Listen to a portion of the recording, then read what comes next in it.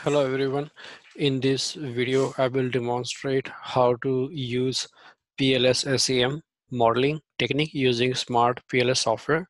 So this is the model we're going to work on, uh, model for employee retention in an organization. It's a very typical model. So we have satisfaction as one construct. We have commitment as another higher order construct. We have retention here.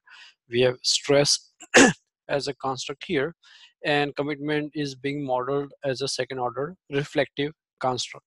Uh, so the the thing here is we're not going to go into very much detail about you know reflective or formative. Uh, for that you can uh, probably refer to other sources but here the focus is going to be on how to use PLS-SEM model uh, step by step so these are the constructs we have these are the sub dimensions of commitment which are the first order constructs here um, and all these constructs are measured using five point Likert scale with a higher score denoting higher levels of agreement with the statement.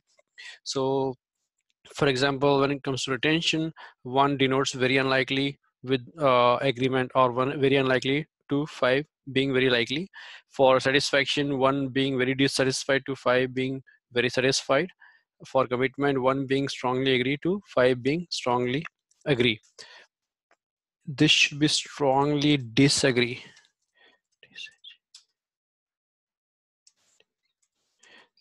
Disagree to five being strongly agree. And for stress it's uh, one means much less than the usual five means much more than the usual. So these are all five point Likert scale data uh, we're gonna use for our analysis. Uh, so when whenever you're doing any kind of uh, PLS, SEM, or structural equation modeling, uh, you need to talk about certain things, uh, which we're gonna cover here. But we're gonna go step by step. Uh, first, uh, probably we'll do the simple model, and then we're gonna do stress as a moderator. We uh, will also talk about the mediating effect of commitment on the relationship of satisfaction and retention. And we're gonna use some multi-group analysis like marital status one being not married and two being married. So we're going to discuss all these things step by step uh, in this series here. So again, whenever you're dealing with any structural equation modeling, first thing you have to do is you need to talk about these four things here. Sample size, missing values, outliers, and normality. So let's talk each one of that in brief. Uh, sample size, obviously we need to have a very uh, decent sample size, but we're gonna be using PLS SEM using uh, SmartPLS. Uh, if if you're not aware of it, uh, it's a partial least square structural equation modeling technique, and it works really well with a with a smaller sample size data. So as a sample size is not a big issue here, but again, the question is how big should be the sample size?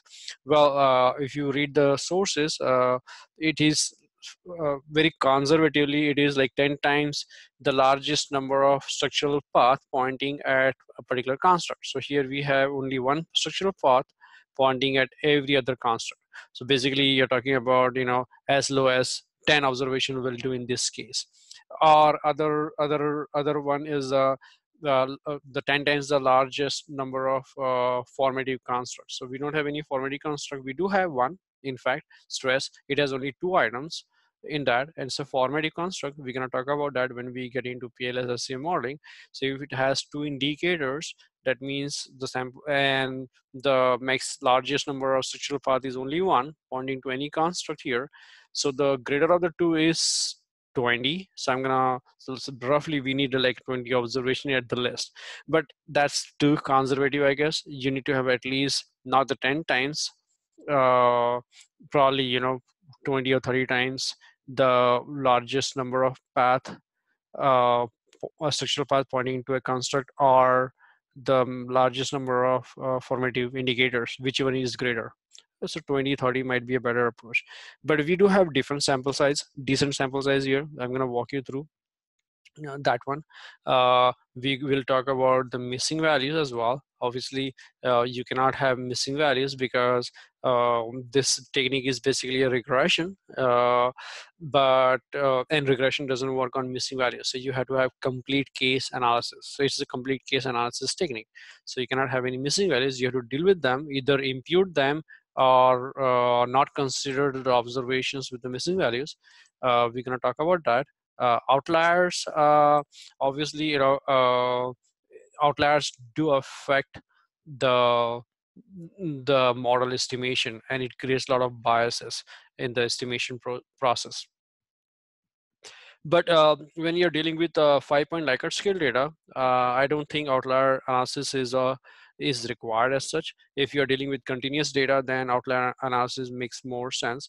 But again, if you read different sources, they have different way of doing things. Some books gonna ask you to do the box plots or Mahalanobis distance. Uh, as a researcher, you have to think about your research and think about your data and use your judgment and my intuition say tells me that here since i'm using only 5 point Likert scale data they are uh, such a short order uh, scale data uh, i don't need to conduct outlier analysis because it might not make much of a sense. So we're to ignore this one. We're to do test the normality. Uh, we're going to do the skewness and the kurtosis uh, to make sure the data is not uh, not very not normal. Uh, maybe that's the best way to say it. But one thing you need to keep in mind that uh, PLS SEM technique uh, using SmartPLS, uh, PLS SEM technique is basically uh, uh, non-parametric uh, technique. Okay, that means it doesn't require any assumption of normality as such.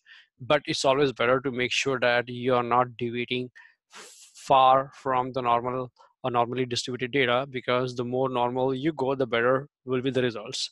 Um, how how much uh, deviation is allowed?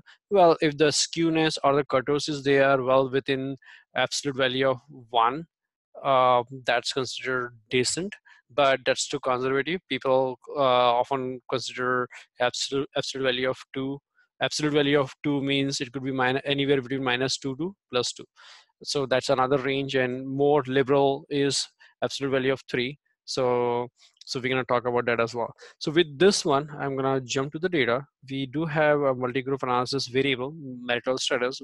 It has two categories and we're going to talk about this one as we move on. So let's get to the SPSS first so that we can talk about the missing values and the normality. Uh, sample size we're going to talk about when we get to PLS SEM as such but we do have very big sample size.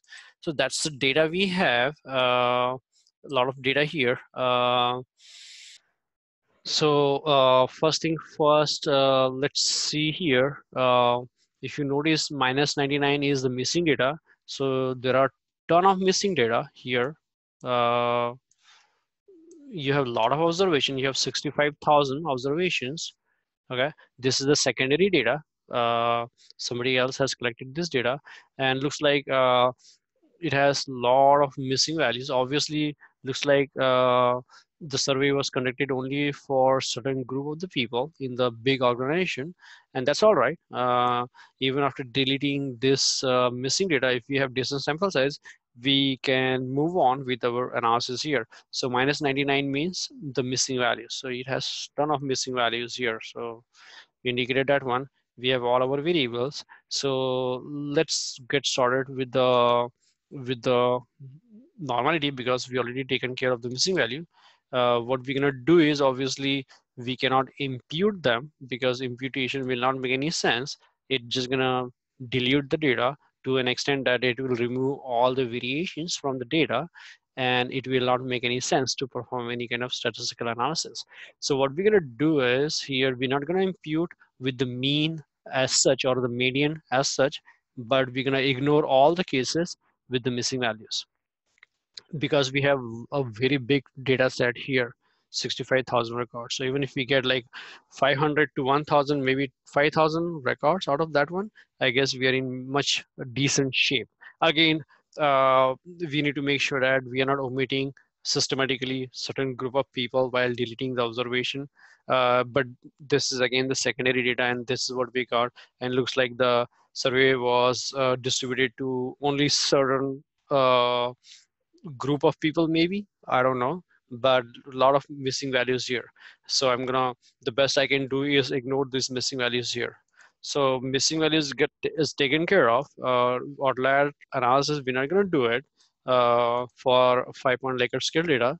And normally we're gonna conduct that using, uh, let's say, analyze and descriptive statistics and frequencies. We're gonna do that and uh, we have a lot of variables here. So I'm just gonna select what I need here. So satisfaction is measured using one item, overall satisfaction. Um, retention is also measured using only one item. Um, but you have uh, many items for uh, first order constructs for the commitment. We have affective, continuance, and normative commitment dimensions. So we're going to put those items in there. And uh, we have stress, uh, we have work-related stress, and we have personal stress. So we're going to put those one in there as well. And that's all we need. We're going to display the frequency table stats we just need skewness and kurtosis. Okay. And we we can do let's say histogram. Uh, just do the normality curve. So if you run this one uh, frequency table uh, not much useful here. So we can ignore the frequency table. I shouldn't have done it. Statistics here, this is what should we need here uh, because we want to uh, worry about, we need to sort of consider the skewness and the kurtosis. And uh, we can browse through some of the histograms here. Obviously, some of them are kind of skewed, uh, but most of them are good, I would say. Uh, again, we should not worry about the skewness as much because the PLS-SEM is a non-parametric test and it doesn't as such uh, require any normality assumption to be fulfilled. In fact, it works very well with the highly not normal data. So this should not worry us too much, but still uh, we need to browse through it. Most of them are very normal. Some are skewed. Uh, we cannot transform them because they are on a short order scale, five point Likert scale. Transformation will not make any sense. The uh, the max we can do is if you are not satisfied with the normality, we have to just drop that particular item. So that's the one thing. Uh, again, uh, this is very subjective. Uh, we can do more concrete test uh, statistics here. I'm gonna copy this table and put it in Excel. I already did that here uh, let, let, let me walk you through the process. So I'm gonna put it here, okay? And uh, I don't need to have this thing, uh, standard error, let's say that. And what I'm gonna do here is I'm gonna highlight this thing and do the conditional formatting. I'm gonna use, uh, let's say, uh, if it is uh, greater than one, highlight with the red. I'm sorry one okay. And if it is less than one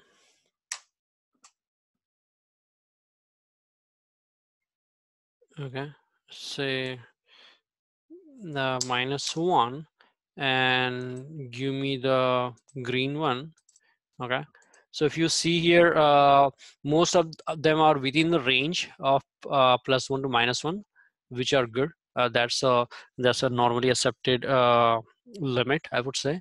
But even some can go as liberal as you know uh, plus minus two or plus minus three. So these are all not that bad. Kurtosis is pretty high here. We're gonna watch those items, and if they, they give any trouble, probably we can delete them uh, because we have multiple items here for at least you know uh, commitment. So something that you need to keep in mind um, but overall i'm pretty satisfied given that PLS-SEM works pretty well. It's non-parametric test and it works pretty well with the not normal data skew data. So and we don't have that much skewness uh, as such. We do have some kurtosis issue but not a not a big deal here. So so what what, what is my takeaway from this analysis? Well uh, I'm done with the sample size because if you look here, uh, I'm sorry, I'm gonna go back to Excel file here. Okay, see here, uh, you have out of 65,000, almost 51,000 observations have missing values, but still we have around 13,000 or at least if you you know even if you do it across all the uh, cases still you might end up getting 10,000 records which are more than enough for our, analysis. So sample size is pretty decent much more than what we need. Um, outlier analysis we're not going to do it on a five point likert scale data because such a short order scale that outlier analysis might not make any sense.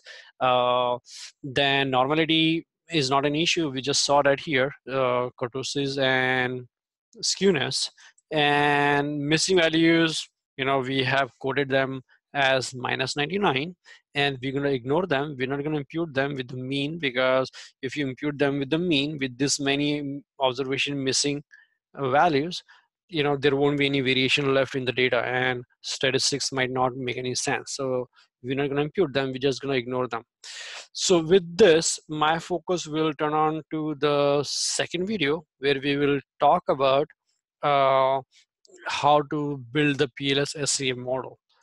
Thank you very much for watching.